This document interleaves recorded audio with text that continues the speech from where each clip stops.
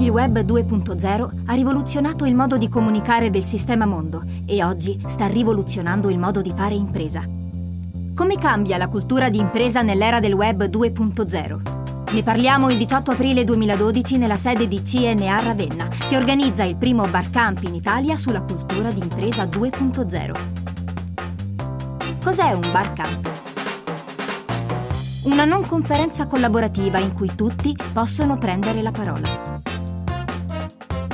Due regole d'oro.